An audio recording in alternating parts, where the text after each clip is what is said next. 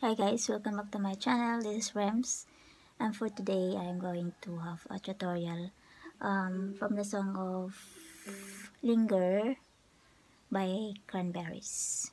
So without further ado, let's start. So from, we have four chords. So we're just going to use it. The same chords all over the song. So D, D, second fret, the three first string here, up from up. Then A major, um, index finger, first fret, third string, and middle finger, second fret, top string.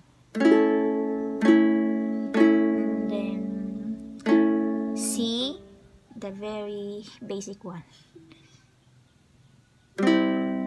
C, third fret, first string.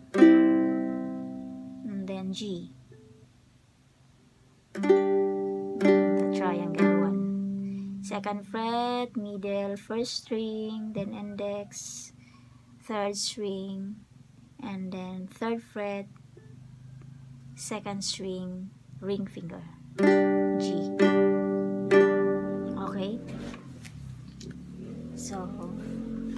tsaka shout out kay Abby Pundak. Sabi niya kasi paano daw mag-tune ng uk ukulele. So, meron akong digital tuner. Yung brand niya is Joyo. Mura lang po to. Hindi ito nag umaabot ng 500. So, mga nasa 300 siguro yan. So, mura lang. Bili lang kayo or merong apps sa, sa mobile phone na guitar tuna. Meron din dun. Kaya, mabilis lang po. Madali lang naman. So, yung tu pag-tune niya is, um, standard tuning is G, C, E, A. So, up is G.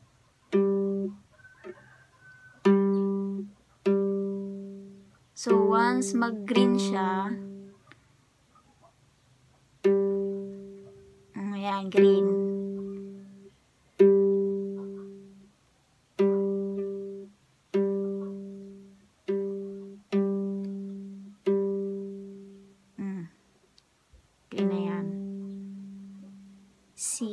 Sa C tayo.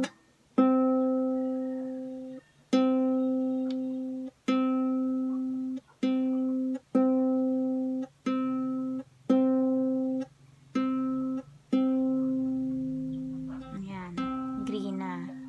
So, nakatune na siya. Sa ina naman,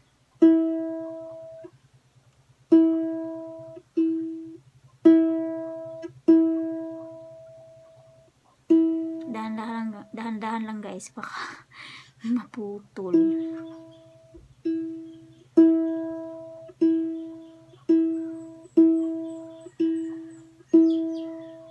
Mahirap yung i kasi lagi. Ano na siya eh. Yan. Once mag-green, okay na yan. Yan.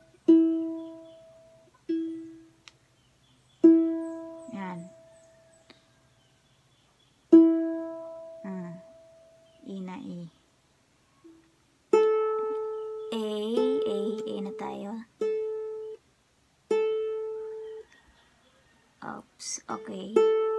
Okay na yan. So, G sa top, C, A, E, A. Mm, naka-green siya. So, ganito yung tunog ng nakatune. Okay? Thanks.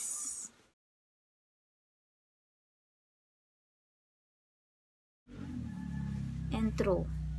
D.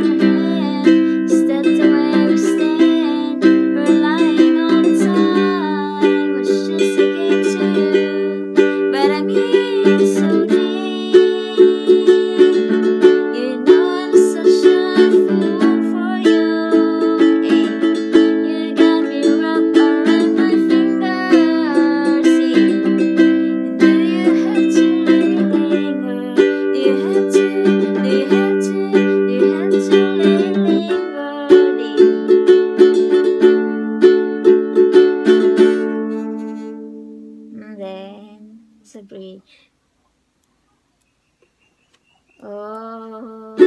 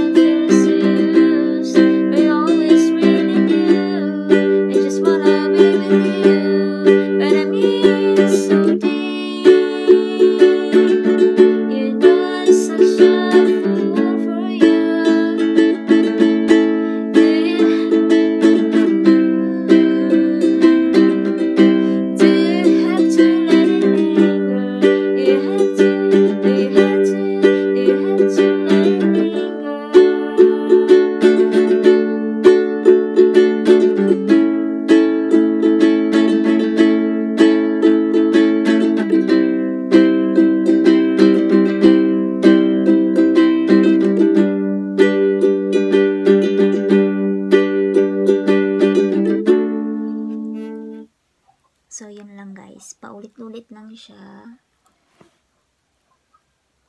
Easy lang, di ba? Basta D, A, C, and G. Yung strumming niya is pwede naman hindi pa kayo marunong. Um, practice lang, guys. Down, down lang.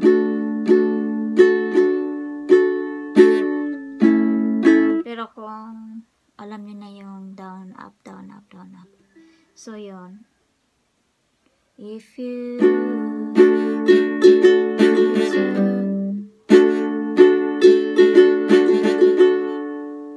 Down, down, up, down.